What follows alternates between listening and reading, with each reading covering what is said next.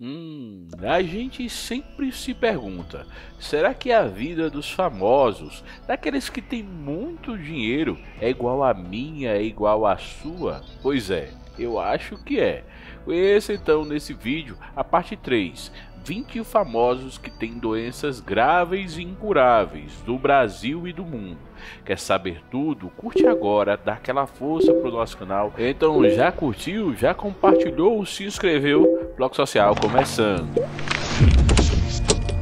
Oi, gente, e aí? Espero que esteja tudo bom com você. Já curtiu, já compartilhou, se inscreveu, apertou no sininho? Então vamos a 20 famosos com doenças graves e incuráveis com a atriz americana Angelina Jolie, de 47 anos. Em 2013, ela teve que fazer uma mastectomia, que é a retirada das mamas. A mãe dela e algumas parentes faleceram por câncer de mama, e a ex do Brad Pitt sentiu sentiu que ela também poderia ser acometida da doença e preferiu retirar as mãos. Nessa lista, a gente traz também a cantora Anitta e para falar diretamente com um problema íntimo de algumas mulheres. Durante uma entrevista para o canal da Sabrina Sato em novembro de 2021, a cantora admitiu que sofre com cestite de lua de mel, que trata-se de uma inflamação na região da bexiga causada por causa de atrito constante durante as relações íntimas dela com os namorados e alertou que várias outras mulheres no Brasil e no mundo também sofrem com essa doença. Na lista, um grande nome do futebol e da TV, o comentarista da TV Globo, Caio Ribeiro, ex-jogador do São Paulo. Em meados de 2021, ele avisou para a imprensa e para os amigos que estava tratando um linfoma Hodgkin, que é um câncer da parte do sistema imunológico chamada de sistema linfático. Conforme o câncer progride, limita a capacidade do organismo de combater a infecção. Ele tratou, fez quimioterapia e hoje praticamente está curado e muito feliz já de volta à televisão.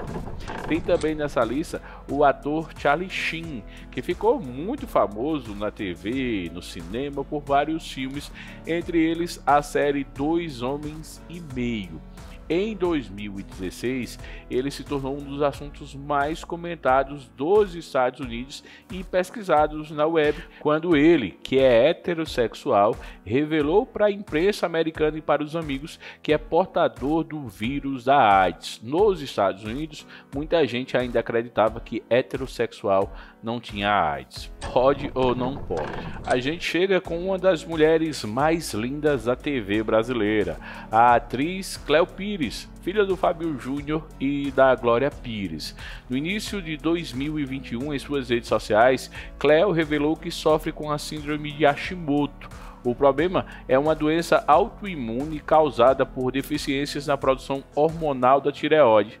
Cleo segue em tratamento e convive com a enfermidade, que apesar de não ter cura, pode ser controlada com hábitos mais saudáveis. E ela continua linda. Será que você tá ficando velho? Pois é, Daniel Radcliffe, o eterno Harry Potter, já tá com 32 anos e sofre de displasia. Ele revelou a doença em 2020, mas ele já sofre desse transtorno de coordenação motora desde criança. Por exemplo, seria bom uma mágica nessa hora, porque com esse transtorno o ator tem uma maior dificuldade para amarrar o cadarços do sapato. Pode ou não pode, é só girar a varinha de condão. Tem também nessa lista o grande jogador Bergkamp, ele que é um dos maiores jogadores de todos os tempos e claro da Inglaterra. Em 2006, ele revelou para a imprensa inglesa e mundial que tem TOC, que é o transtorno obsessivo compulsivo. Bom, acreditem ou não, ele só toma cerveja, refrigerante e café se for com dois copos, com um não, tem que ser número par. Ele também guarda cartazes de todos os lugares onde ele já visitou e não quer que ninguém mexa. Eduardo do Sec é um dos maiores nomes da música popular brasileira, ele que também é ator em 2015, revelou para os amigos e para a imprensa que ele sofre de mal de Parkinson que é um distúrbio do sistema nervoso central que afeta o movimento, muitas vezes incluindo tremores. Ele que fez novela, ele que fez muitos shows, hoje tem uma certa limitação para alguns movimentos, mas com certeza continua talentoso e a gente espera que viva muito e com muita saúde.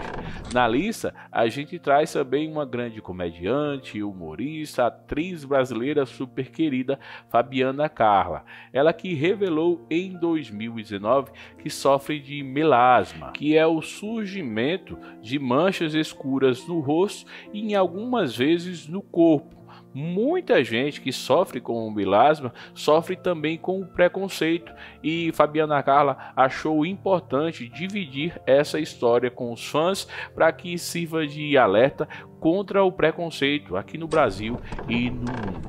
Tem também na lista a apresentadora Flávia Noronha, que foi apresentadora do TV Fama na Rede TV e de outros programas. Ela sofreu em 2021 com uma celulite facial. Ela revelou num programa do SBT. Ela disse que simplesmente acordou com o rosto super inchado, os olhos super inchados e sentindo muitas dores procurou o médico, foi remediada e hoje, graças a Deus, está com a situação bem mais controlada. Sucessos para ela.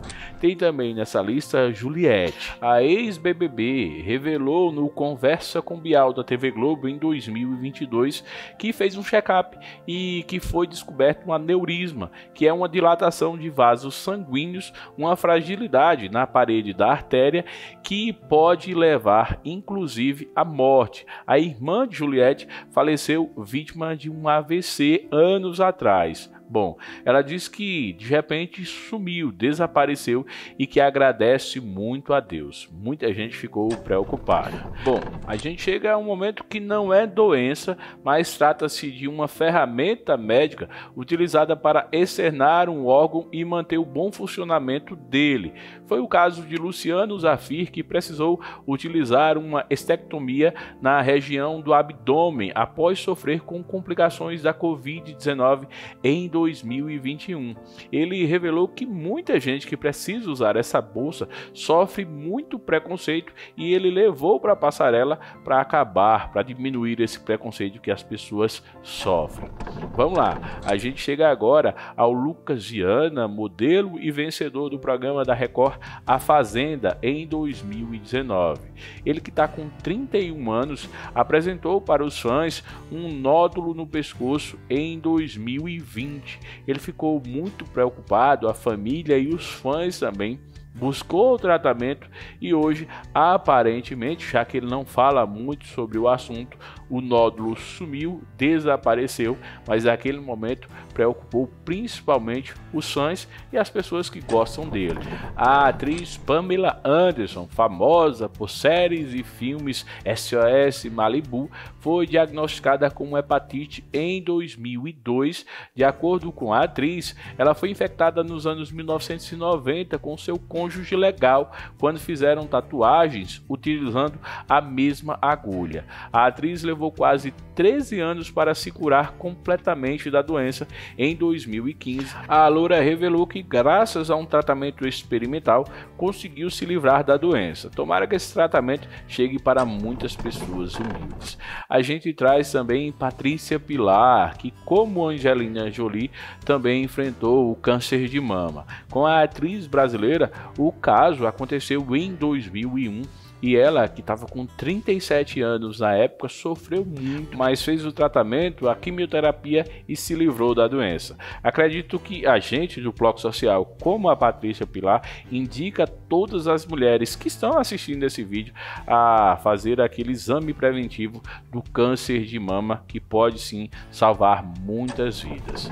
Vamos lá que a gente chega a um dos maiores nomes da história do esporte mundial, o atleta do século Pelé hoje com mais de 80 anos, ele segue em tratamento contra um câncer do cólon, que foi um câncer bem conhecido que levou o ator de Panteras Negras, o Chadwick Boseman, a gente fica torcendo para que Pelé consiga reverter esse caso, se livre dessa doença e viva com a gente muito mais. Um ídolo aqui na Terra, um grande nome do esporte mundial.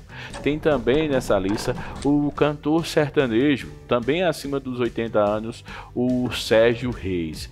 Ele foi diagnosticado com câncer de próstata no início de 2022, foi às redes sociais, dividiu a doença com seus fãs, seus amigos e muita gente está torcendo também, como a recuperação do Pelé, pela recuperação do Sérgio Reis. A gente segue acreditando que eles vão sim conseguir sobreviver dessa doença e a gente vai ouvir o Sérgio cantando ainda por muito tempo. Chegamos a uma polêmica. Muitos fofoqueiros famosos, conhecidos da TV e também das redes sociais, disseram que Thiago Leifert deixou a Globo por inveja de Luciano Huck e Marcos Mion. Na verdade, ele não queria o Domingão ou o Caldeirão, queria tratar a filha, Lua de um ano, que foi diagnosticada com câncer no olho, retinoblastoma.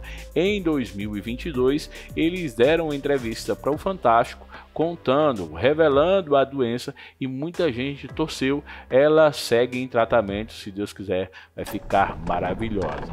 Para encerrar nossa lista, a gente traz um bonitão de Hollywood, o Tom Cruise, hoje já beirando os 60 anos de idade e que sempre sofreu com distúrbio de aprendizagem caracterizado pela dificuldade de leitura, a famosa dislexia. Ele e vários outros famosos não conseguem, por exemplo, ler. Ele consegue interpretar, saber o que vai falar num filme, numa gravação, num programa de TV, mas não decora isso com facilidade, como a maioria dos seres humanos. E aí, gostou do vídeo? Não esquece, curte agora. Curtiu? Curtiu de verdade? Dê uma força para o nosso canal. Que doença você não sabia e aprendeu aqui com a gente? Que outros famosos sofrem e a gente não revelou? Curte, comenta, bloco social. Tchau, tchau.